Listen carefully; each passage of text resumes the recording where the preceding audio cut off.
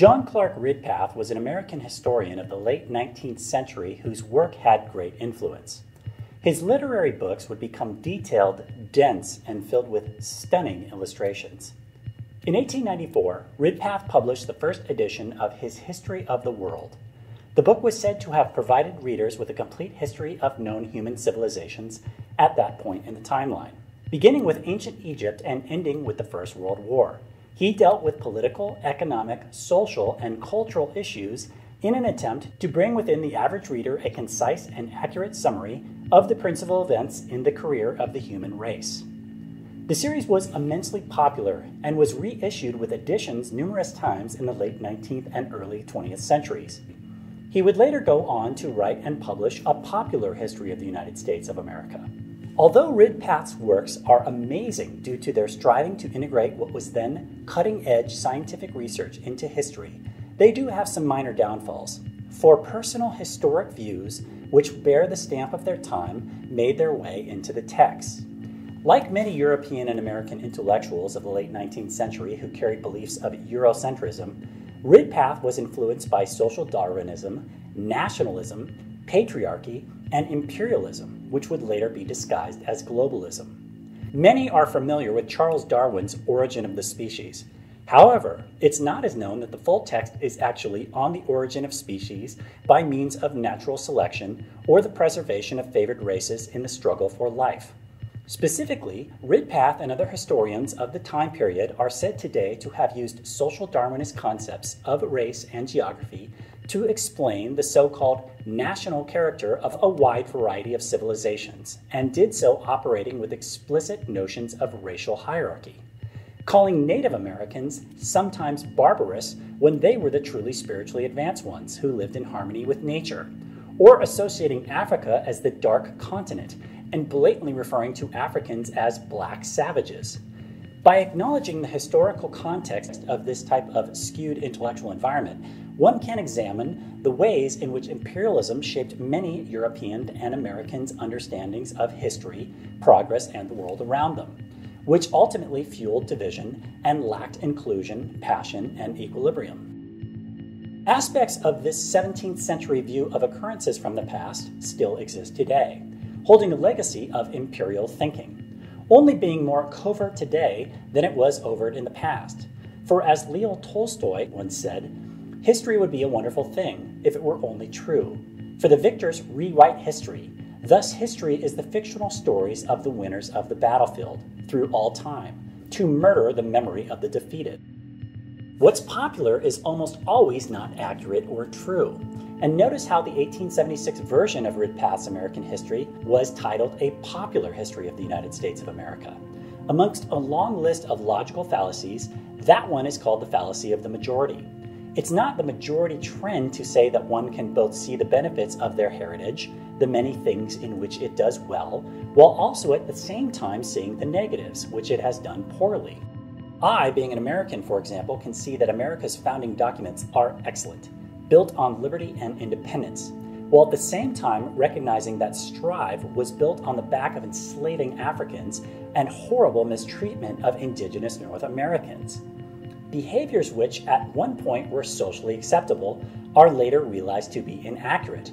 Lynchings in the United States, for example, used to be quite common, where a family would get together and watch a human being who had a darker shade of skin be hung and then burned to a crisp. That is today, for the most part, acknowledged as having been a group mental sickness via the perpetrators. Or African Americans who absolutely still have extra layers of hardship and concern when dealing with elements of society, especially law enforcement. As there is no society on the planet handing out rights, it's become learned that you have to fight for them. For as Martin Luther King Jr. once said, the arc of the moral universe is long, but it bends towards justice. Of course, Black Lives Matter, yet all skin tones matter, all lives matter. All men, which at the time of its writing meant both women and men, are created equal. No way an equality of outcome, but absolutely an equality of opportunity. A child that grows up in the favelas of Rio de Janeiro has no less value than that of a British royal baby, who's kept in the hospital for three days after their birth so their exact astrological birth time can't be publicly known. Being of European descent, we can see the imperial legacy of rid past historical view in the forms of crusading, colonialism, and off balance thinking of superiority, often inaccurately and hierarchically placing white Europeans as superior to other races. We can sympathize with those subject to hardships of our ancestors, but be conscious to not repeat those past errors in our own lives while at the same time not being self hating white people who don't also appreciate the beautiful art, literature, and architecture of European culture and paint every Caucasian with such a broad brushstroke as to say we are all guilty of X, Y, or Z and need to kneel down in inferiority because of what our ancestors did before we were even born. We can also see clearly that mass migration that uproots a people due to extreme economic hardship from a poorer country to a more affluent country is today used as a tool to divide and conquer, as well as a technique to uproot a population of people in what has become their native soil, and causes more harm to that country's population than it does good. Just like the Europeans did to the indigenous population of America when they first settled on the land. African, Asian, Latin American, and European continental human groups have all been oppressed through time whether it be for the iron yoke slavery of the past or the wood yoke slavery that still exists today, with all having been human trafficked for forced labor and sacrifice all over the world, including their own people, all for cutthroat economic purposes. Isolating one particular group as the problem and another as the most oppressed is meant to divide one against the other. Even though in certain periods of the timeline one group has been more on the receiving end than the other, throughout all time, every race has gone through their oppressions. Oftentimes, a catalyst for public outcry will accurately identify a problem, but then inaccurately identify a solution. Whether it be burning books or taking down statues, revising history has always gone on. For as George Orwell wrote, every record has been destroyed or falsified, every book rewritten, every picture has been repainted, Every statue and street building have been renamed. Every date has been altered. And the process is continuing day by day, minute by minute. For an enemy is not in a book which one thinks they need to burn, or in a statue which one thinks they need to take down, the act of which makes one a history rewriter. But instead, it's those who control the divide and conquer narrative that make one think they need to erase our history and rewrite it in the first place as even the darkest parts of a country's history must be remembered so that they are not repeated. All one need do is look towards the capstone of the economic pyramid which seeks to divide and control. The world's problems are due to grossly misstratified economics by a small amount of parasitic, centralized systems at the top of the power pyramid. Since power corrupts, aristocratic bloodlines and godzillionaires who run the imperial machines of commerce hold the puppet strings, yet are a sliver of a sliver of a sliver of the world's population.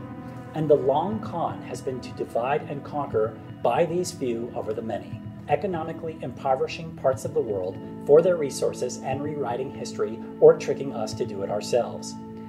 Their illusions sell fear, obedience to authority, separation, division, and abdication of individual sovereignty through time the tentacles of which operate in different, more overt and covert ways throughout the planet based upon how fundamental the country's political power pyramid capstone has become. For if one controls language, then they control thought, and the negative patterns continue playing out time and time again. For this has seemed to go on through much of our backstory, almost as some sort of teaching tool, causing the populace to have to learn through hardship. Why, for example, are humans as a whole called the human race? The etymology of which was installed long ago to imply competition and division against one another. As we are never given wisdom from socioeconomic top down sources, those that do embody wisdom have learned to do so by example through connection, wholeness, abundance, unity, and empowerment of the individual through time via the awakening human and that our obstacle to overcome is not our brothers and sisters, who we hold hands with, standing together in solidarity, whichever part of the world their people originate from. Coming to know it's not about us versus them, but instead economic justice, decentralization, local community improvement in our own native lands, and not consenting to outside authority, as everyone throughout the world has the right to liberty and well being to seek out the mystery of life. All of which stems from a much deeper story regarding our origins and existence. As few seem to question or often wonder why we truly originated and why we came into being, forgetting who we are and the mystery of where we have come from. Various belief systems tell us that they have figured out all those answers, yet have become top down structures themselves, wanting to sell easy answers to get us to outsource our power, and as a result, are in no way wanting to give truths as to why human beings exist. Being similar, but at the same time so different from the other living creatures we share our home with. Whichever way we are pulled, which usually stems from our upbringing, the other side of the coin is always there, which creates false opposition to get ideologies infighting. For so often, it appears as if we are being bombarded by a continual barrage of ideas, images, and events that seem to reinforce apparent divisiveness and separation that exists between these illusory different ideologies. Humanity itself seems as if it is falling apart at the seams as the old dysfunctional paradigm disintegrates, unraveling more and more before our very eyes. Incredulous incidents seem to boil over our inherent differences, generating what appears to be a fractious, divided world. Some have referred to this phenomenon as the illusion of separateness. While it is indeed true that we are materially separate, corporeal, distinct, and unique individual beings, paradoxically, we are all one unified holonomic energetic field of mysterious existence, both whole and part of the whole. A fractal holographic web, intimately and intricately interconnected and interwoven into the very fabric of our being. Yet, there are those that still seem to remain wholly unconscious or unaware of the existence of this underlying unity, buying the imperial playbook and effectively asleep within the dualistic nature of physical reality as a result. Even those who have experienced the truth of this underlying unitive nature of existence, regardless of where on the planet our ancestors come from, either through a deep spiritual awakening or philosophical or intellectual understanding of the underlying physics of this reality, often wrestle with the conundrum of how to reconcile this polar opposites within our nature. Such is the major reason for the mystery of our existence. For the etymology of the word history is his story, and the etymology of the word mystery is my story. So, my story is to seek out the mystery of life, and in doing so, we are shown the middle path to both light and dark, and all shades in between having potential value mapping the polarity of the material realm and finding equilibrium because that's where the power lies.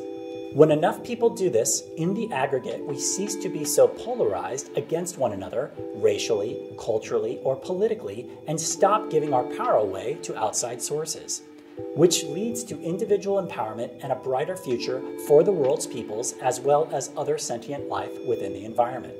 For everyone on the planet wants to have liberty, we just have different ideas as to how to get there because we've been unconscious to how much we've been manipulated by a tiny cult for so long. Yet globally, we are now at the twilight of empire, and larger percentages of us are now ceasing to give consent to this old hierarchical operating system. Ridpath and others who have written the history books were giving us, at a price, his story and not your story of how we interact with the mystery of the world. So, this has been a brief glimpse of my story of his story.